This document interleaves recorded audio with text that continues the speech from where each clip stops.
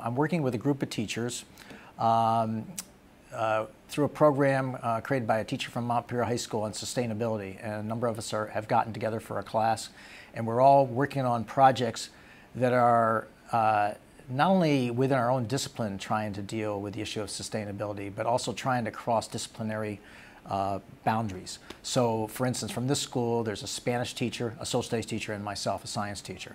And we're all trying to uh, integrate what we're doing with each other dealing with these kind of issues.